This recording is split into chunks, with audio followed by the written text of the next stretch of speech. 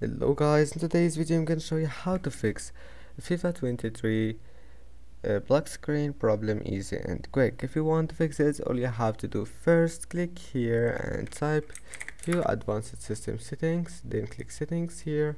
Now click adjust for best performance. Enable those three options if you want and then click apply and ok and uh, after that go to Windows Update Settings and install all the updates that you can find and then go to background apps and turn off all those applications to free up your memory and that's it.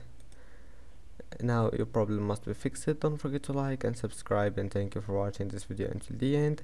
And see you in the next video